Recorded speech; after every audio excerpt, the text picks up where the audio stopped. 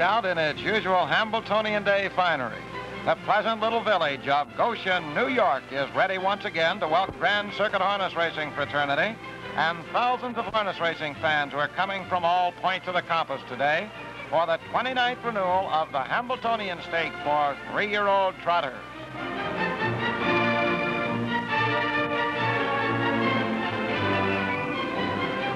Old-timers who make the trip each year are glad to return to Goshen because they've fallen in love with the friendly village and the Hambletonian Day hospitality of Ladies' Aid Society, which provide refreshments reminiscent of the old church lawn socials.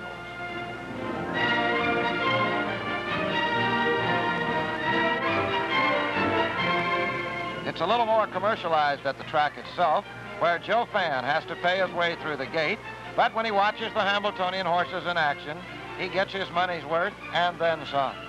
Eleven of them are going to the post today, headed by Scott Frost, the most phenomenal young trotter of all time. The purse is $86,000.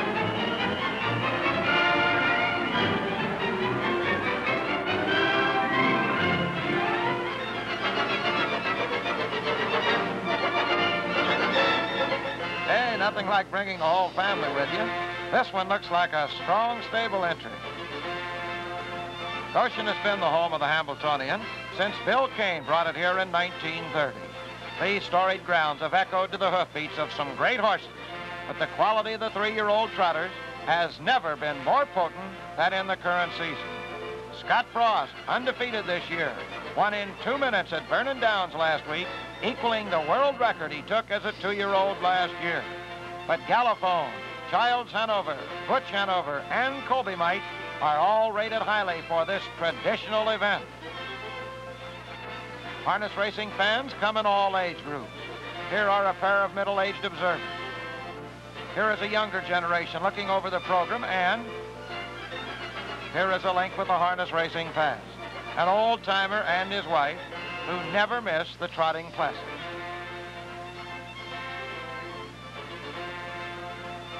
Almost race time now, and caretakers are wrapping up last-minute chores before the call to post.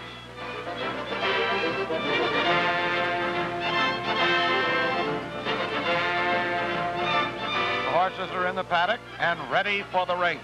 That's been seen to by veteran paddock judge Dave Friedman, who's been handling the Hambletonian chore for years and years. Joe O'Brien, Scott Frost driver, reports for work, as does Billy Haughton, who will handle Galophone. Here, Haughton exchanges a word with last year's Hambletonian winner, Del Cameron. Johnny Simpson, who will pilot Leopold Hanover, and Ralph Baldwin, Colby Mite's driver, contemplate the moments ahead. And Mrs. O'Brien drops by for a last-minute chat with her husband.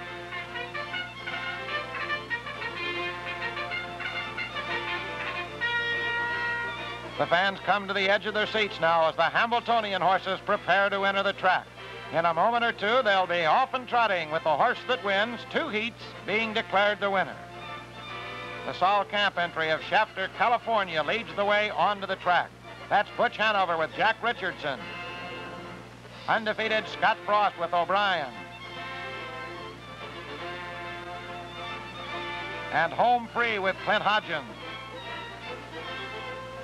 Next is the Del Miller entry up way ahead with Miller up. An Indian Raider with Jimmy Arthur. Here's Leopold Hanover with Johnny Simpson.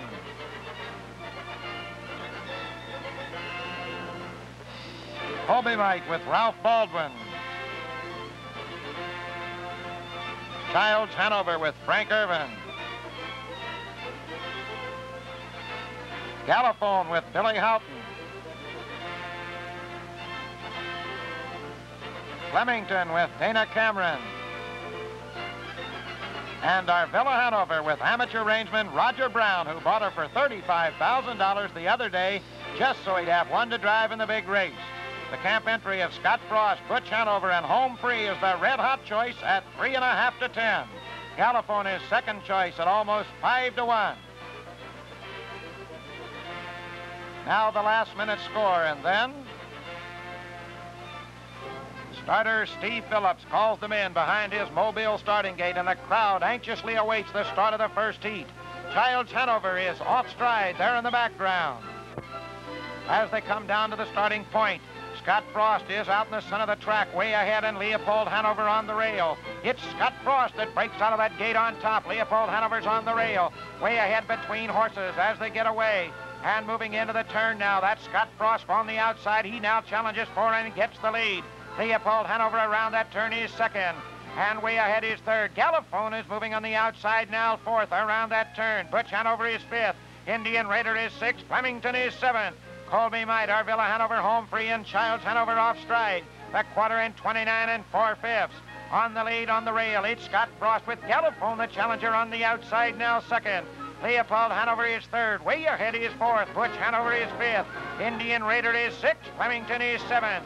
And Galophone has that lead now with Scott Frost second. Leopold Hanover is third. Way ahead is fourth. Scott Frost content to moving on the outside now. He's going right on. It's Scott Frost taking back over the lead from Galophone. Leopold Hanover is third. Way ahead is fourth. Butch Hanover is fifth. Indian Raider is sixth. Flemington is seventh. And Colby Mite is eighth. Arvilla Hanover ninth. Home Free and Childs Hanover trail the field. The half was in 1-1. Scott Frost on that lead now around the turn. Galophone is second, and now that's Butch Hanover moving on the outside. Butch Hanover is nailed fifth on the outside. He's nailed fourth. Indian Raider also moving on the outside behind Butch Hanover. Butch Hanover is nailed third. Scott Frost has the lead. Here comes his stablemate. Butch Hanover up on the outside. Galophone is third. It's Indian Raider fourth, and Indian Raider breaks stride as they come to the three-quarter mark. Leopold Hanover is saving ground on that rail. Flemington has moved up and is now fifth around the turn. Way ahead is sixth. The three-quarter time was 132 and three-fifths. It's now Butch Hanover showing in front by just a nose. Scott Frost has that lead again as he moves through. Galophone goes to the extreme outside, and Leopold Hanover is saving ground and moving fast on the inside.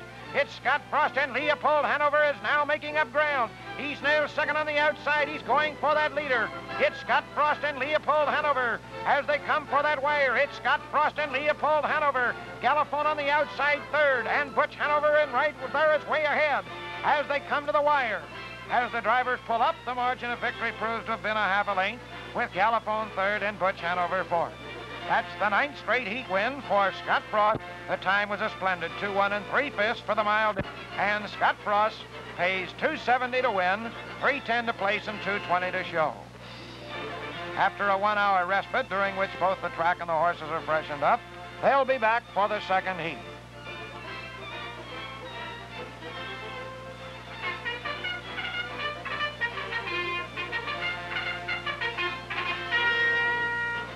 There are no scratches, and thus the field for the second heat is intact. The camp entry is favored at 3 to 10 this trip, just a little more prominently than before.